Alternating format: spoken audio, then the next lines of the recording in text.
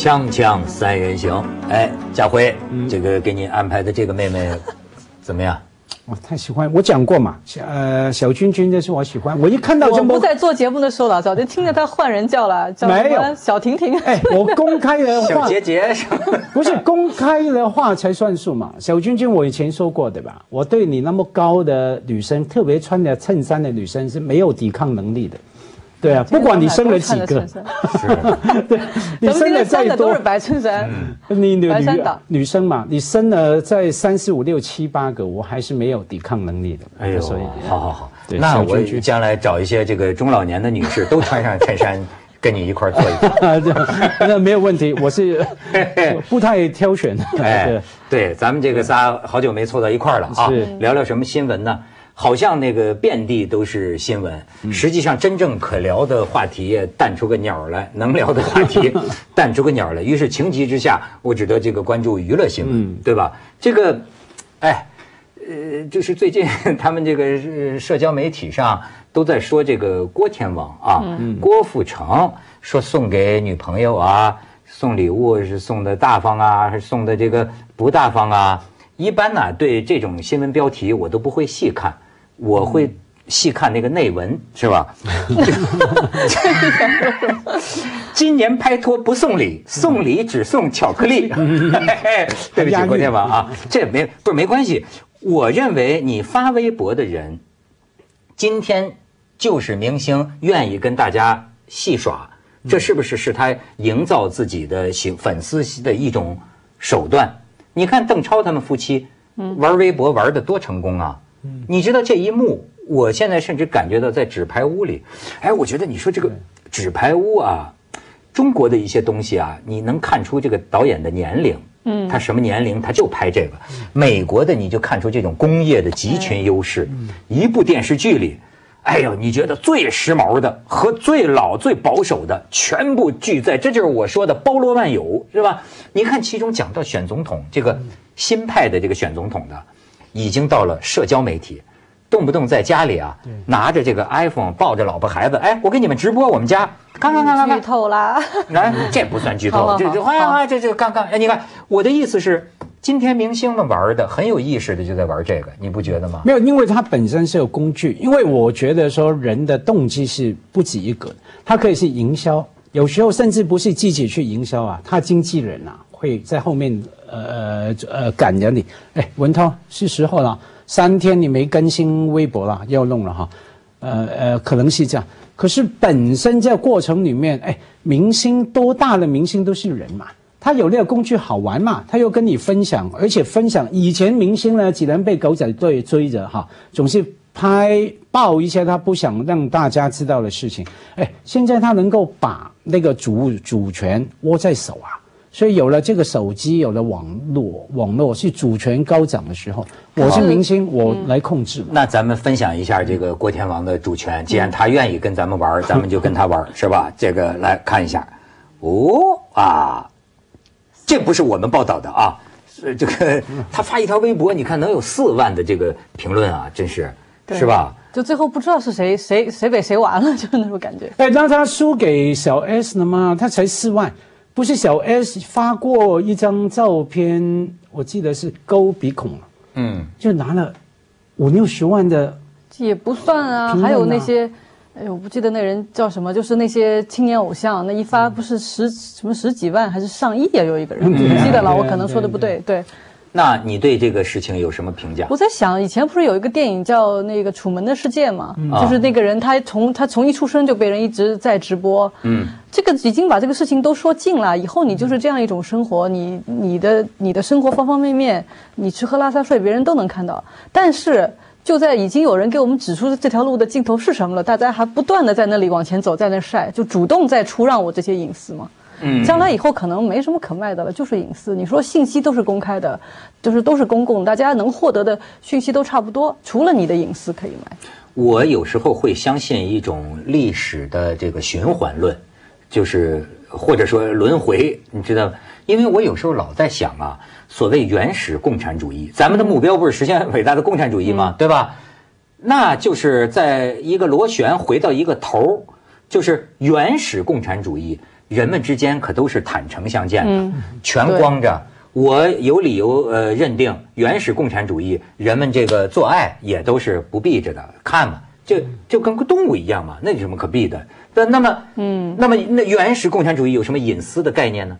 但是你看这样一弄一弄一弄一弄，没有我重点，我觉得可能讲歪了。这个真的不是他们的隐私啊，这是他们想让你看到的隐私啊。比方说他们自己吃饭，或者说怎么样。很多都是我们刚说明星自拍嘛，他想给你看到什么，他一定有更多不想让你看到的，所以还没到什么隐私都公开的年代啊。他所所以呢，这个其实倒过来了，因为有了网络，有了手机这个东西，他完全要我们要重新来界定一些概念嘛。这个是隐私吗？不是隐私。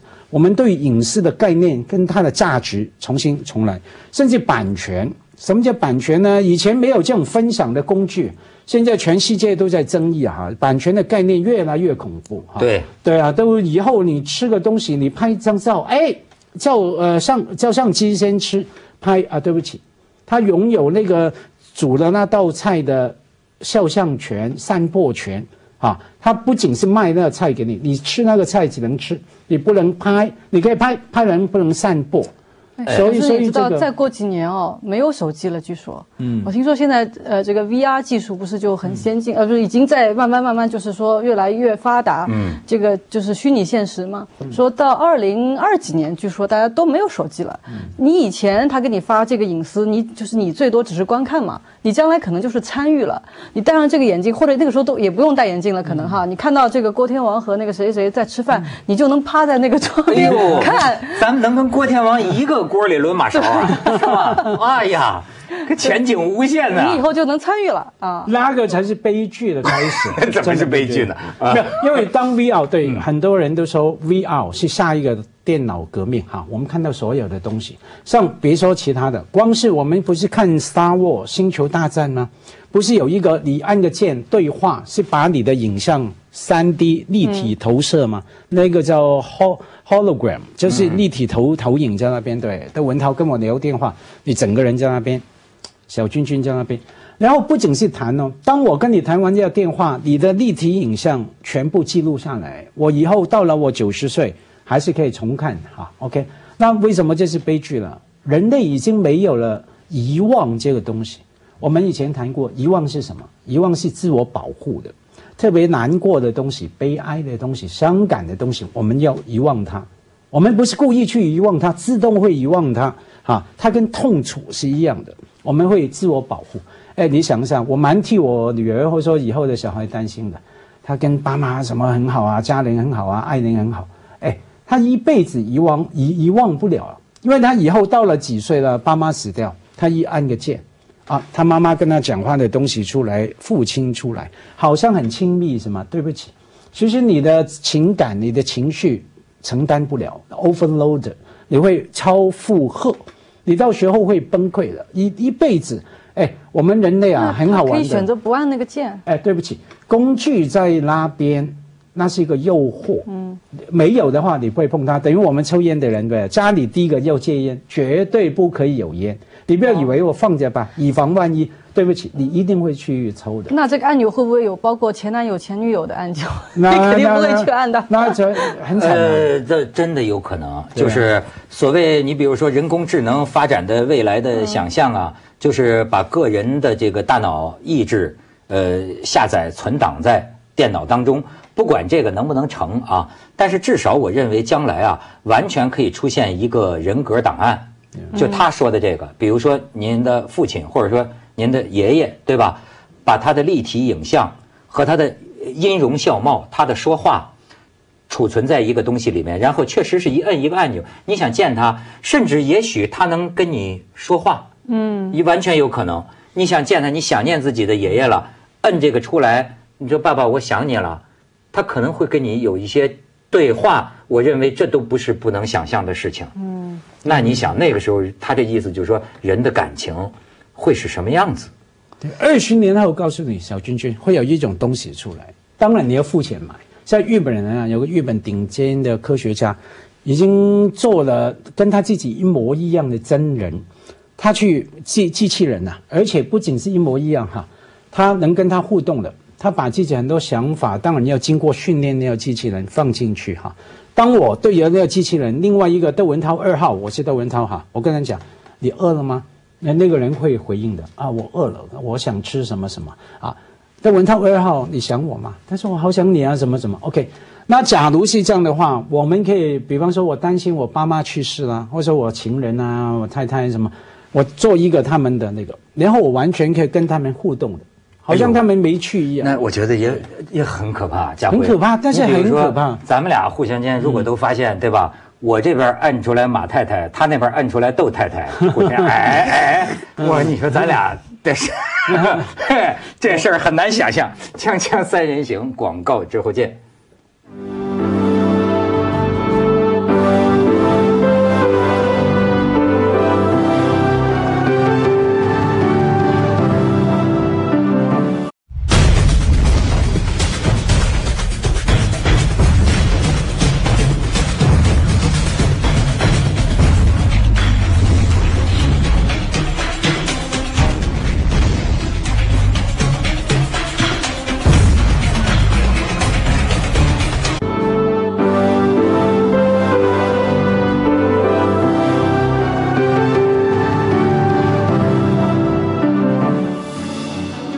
另外这个咱们还是回到今天的人的 感情世界吧，有点转转蒙圈了啊。就是这个也也有一个好消息可以分享，这个著名的上过我们锵锵的女诗人余秀华离婚了啊。你觉得是好消息啊？呃，你这么说可能觉得我不厚道，但是我是根据这一篇报道得出这个结论的，就是说，因为这篇报道的原标题叫做“诗人余秀华，逗号，终于，终于离婚了”。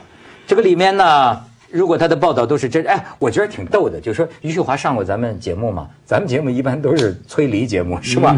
上过锵锵之后，就是他为什么决定就是离婚了？就是旁边就采访过他的记者，也好像也帮他的忙。就是他其实有个顾虑，顾虑是什么呢？别人会不会觉得他出了名儿就要这个离婚？其实不是这个原因，这是很长期的一些问题。那么，哎，他就要不说余秀华真是出口成诗来，哎，他说这个这个虚名啊，没有什么意思，人生本来就是一场虚惊。哟，一场虚惊。然后余秀华进了民政局，就是民政，你这民政局的工作人员啊，都认识他了，不但是都认识他，就民政局的工作人员竟然问他，说你是不是神经病？这下余秀华被刺激了，气的他拍桌子，就是说我就是神经病。然后这工作人员啊，表情很正常，说那你得拿医院证明，要不然不予离婚。结果余秀华气的，结果呢，他在旁边观摩了一下，发现呢，后来的两对离婚的夫妻，原来这工作人员呢问的都是一样的问题，这是个例行程序。得一场虚惊嘛。对，一场虚惊，就是。但是我觉得男孩就能这么问吗？就是你是不是神经病？他可能问了很多问题吧，就像你办签证也不问嘛，你是不是什么种族主义者？你是不是偷过东西？你是不是杀过人？不是都这么问吗难？道这是当地民政局离婚标准程序吗？咱没 去过，不知道。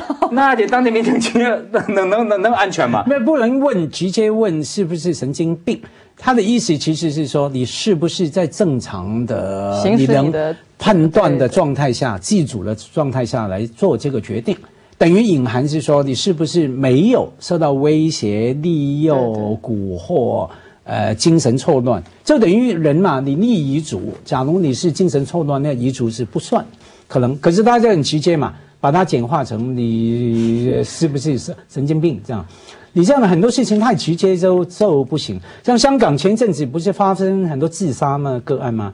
现在在讨论说，原来当你说可能考虑自杀的时候，他们好多辅导人员啊，要求你签一张纸，承诺不自杀，本人承诺从三月二十五号到五月五二十五号之间不自杀这样子哈。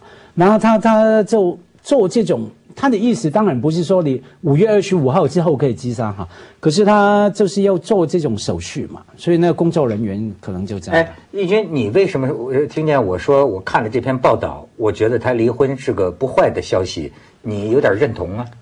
因为他受了十六年的苦嘛，据他就是自己说。那当然，大家都觉得说叫劝和，呃，那个不劝离吧，是不是？是不是这样说？但是我觉得对他来说，这样天地更广阔了，自由了嘛，当然是好事了。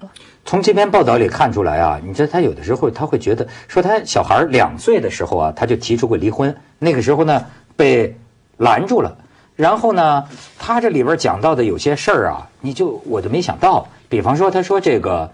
有一年，她老公在这个荆门打工，呃，春节到了，这个老板拖欠了八百块钱的工资，然后她老公就让这个于秀华呀跟着他去讨，就是说你怎么帮我讨薪呢？说待会儿等老老板的车这个过来啊，你就撞上去，说你是残疾人，你是残疾人，他不敢撞你。然后于秀华就说，如果真撞上来怎么办？然后她老公就沉默了，就是从这个细节来讲，就是说。余秀华这心里就觉得，我的生命在你眼里就值八百块钱，还不如一头猪吗？啊，所以啊，他现在就是自由了，当然是好事情了。也不知道，但是我觉得他的就他以前的诗啊，里面有一种其实有点苦的味道，被压。有的时候人家说你这个压力越大，反弹越大嘛，你创作才越广阔。嗯，我瞎担心一句，会不会不知道他的心境会不会变了？以后不知道他的诗可能也会风格也会变。我担心。你知道咱们想的什么女权、妇女解放啊？你在某些女性精英阶层里是另一回事儿。对。可我觉得啊，在乡村里，在广大农村里，你像余秀华这样的，就属于有诗魂的呀，有这个很好自自主意识、自独立意识的这样一个女的。但是我注意到，她仍然。就是在他做老婆，他要服从农村的这个这个怎么这种规矩或者文化。你比如说，她在报道里讲，她给她她老公喝醉了酒回来，她要给她老公泡茶、洗脚，就是你，她就这种，她还是要做这些个。她的灵魂在一个世俗的壳里面，她还要做这些事情。哎，而且，所以你知道，我最近想起另一个争议的，你可以看看这个照片，这个易经可能你知道吧？啊，就是这不离不弃的，啊。两次结婚，两次离婚。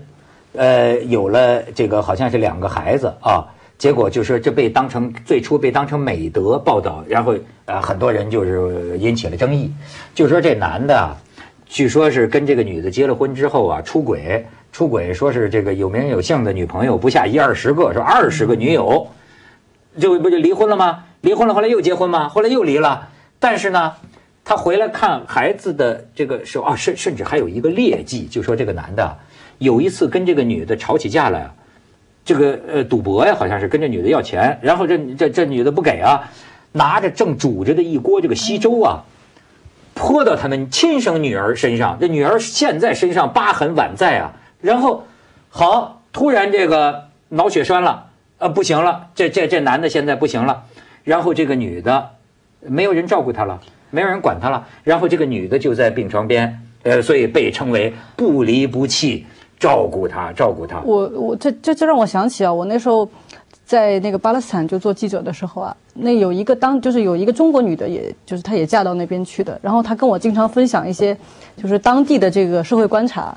她就有一次跟我说到，说当地的女的都特别爱他们的丈夫，是什么原因呢？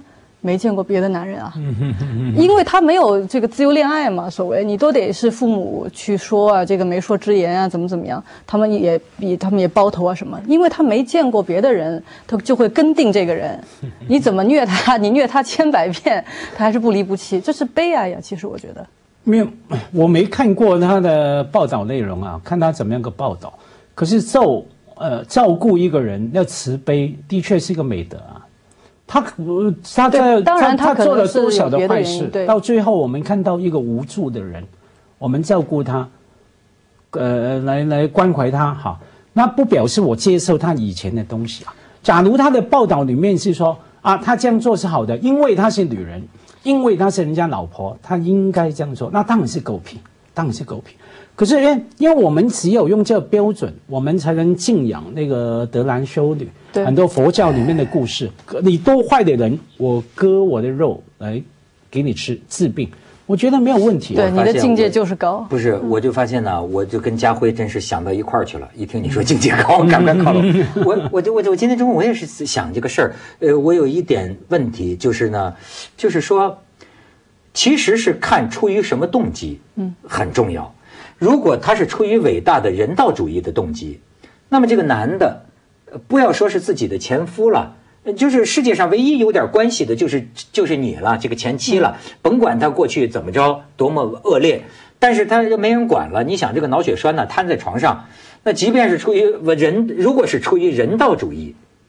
我认为这是值得敬佩的，值得尊敬的，对吧？就是，但是呢，如果是出于那种啊三从四德的那种东西，也许就是可悲的。可是是这样子的，我们都不知道他到底是为了什么原因，是吧？他也就他自己没说过。但是他现在这个故事被宣传出来的时候，你觉得大家是把它当做是三从四德在宣传，还是人道的宽容在宣传呢？所以啊，我就是说要看他把它放在哪个 frame 啊，哪个框架里面来报道，那完全不不一样嘛，对不对？假如你说哎，三从四德，我们这样透过它来肯定三从四德，那太狗屁了，太太太无聊了。它可以是人道主义嘛？嗯，对。锵锵三人行，广告之后见。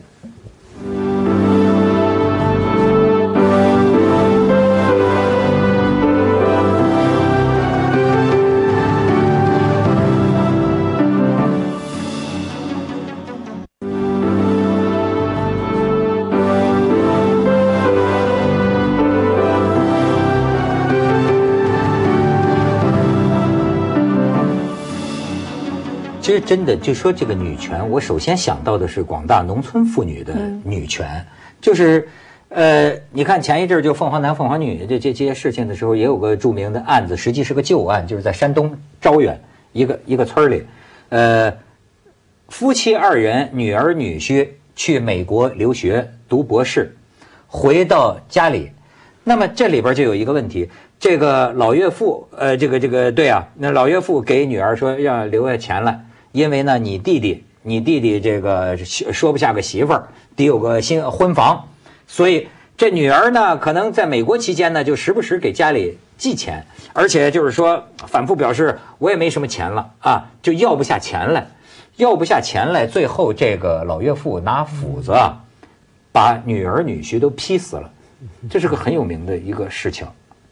这就是这个人他不给家里钱，对，这天哪，天哪吧。但是你知道这个事儿都有争议，有些人就说呢，这是一种就是就是说这个女的她能够一直读读读一直读到留学是全家的供养，所以呢，那他父亲就觉得你有义务帮你的弟弟，但是也有另外一些人呃说，甚至包括他们的同学，就是说他们两口子上美国留学啊，主要花的是他公公婆婆家的钱。呃，而且呢，就在美国过的日子确实非常这个艰苦，连自己孩子都没法在美国养，就是公婆照顾着。我也我也我见过有一些就是比如说中国人跟外国人去结婚的哈，有些例子他们就说外国人最不能那个理解的就是说娶一个中国人或者嫁一个中国人，最后是跟一大家子生活在一起，就是不是说你真正是住在一起啊，是你的生活关系当中永远跟所有的人是在一起。你中国人，你一个家庭里面谁出头了，好像很无争议的，就所有的人必须跟你要去发生关系的，你有这个义务去对所有的人要去负责。嗯，就家庭就是我们的这个宗教嘛，他一直这样讲嘛。因为像中国人的确呃呃非常重视家庭，可是也不仅中国人啊，这种感觉好多对美国白人来说，他说哎，我跟意大利人一样啊，意大利我们看《Godfather》教父也知道哈，叫意。意大利裔的人哈，意大利人他总是家庭啊，一个人出头了，就是大家要互相照顾。一个人做了不好的事，我们就觉得啊，好丢脸啊！我表弟怎么怎么样？然后犹太人一样啊，我觉得那个说这种话的人呢，那个可能要想，不仅是中国人是这样，当然，当然中国人比较奇怪。像那个我说奇怪，是因为你刚说的那种情况，其实可以把它简化成一个问题嘛。当碰到一些不公道的人家的的事情的时候，你能够怎么样来讨回公道？因为比方说，哎，我觉得你不公道，我们一起帮了你，你现在不回报，好啊，你是不公道。可是我总不能去把你砍死，还有我不能用这种来对待你的不公道。还有一个问题就是，中国现在这两代人之间的差距就是前所未有的，没有一个任何一个其他国家，在三十年内这两代人之间的就是这个家庭。的差距可以那么的大。我那时候跟我一个就一个英国老师就是那个讨论过，他们家比如说他爸爸那一就是那个时候是一个中产，那他现在也最多也就是个中上产，比如说啊差不多的。他说中国可是可以从一个农村里面最穷苦的家庭，忽然出了一个在城里面就变成一个白领，怎么特别金贵的这么就是这样一个孩子，这种差距，这两代人怎么在对话？他们的价值观认为什么是对的，什么是错的，这个东西的差距太大了。哎呀，就是没法聊啊！就而且呢，很多时候就是，哎，这个呃，到了城里的这个人，和他又要承担着家庭里边的这种村里边，就是自己宗族的这种这种义务，因为这就是你怎么出头的。你现在看，就是培养你啊，借了甚至借了全村的钱，那么你上到城市里来，那么叫凤凰男嘛，这就是。那哎，这人就是说叫要好汉莫问出处啊。你这个这个出来混总是要还的，哎，我觉得这还不是把钱还完的问题，这个钱是还不完的。你不是说你贷款对吧？他这个人情这个钱是永远这个根是斩不断的。所以所以啊，所以你可以不还啊，不还的居然就可能会被杀，你要冒着生命危险。香港人有这个负担吗？也有啦，我们呢赚的钱还是要给家用，拿钱回去给爸妈。那相对老美比较小嘛。我问很多美国年轻人。